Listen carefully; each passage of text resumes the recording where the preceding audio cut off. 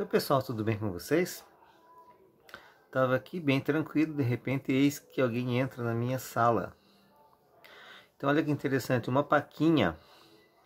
Olha que legal, primeiro par de pernas do tipo fossorial, segundo par de pernas do tipo ambulatório, terceiro par de pernas do tipo saltatorial, antenas filiformes, aparelho bucal mastigador, primeiro par de asas do tipo tegmina, segundo par de asas do tipo membranoso. E nós temos cercos aqui também.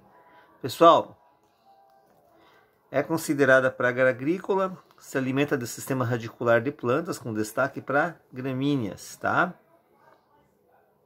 Eu particularmente acho ela um inseto muito, muito bonito. Tranquilo?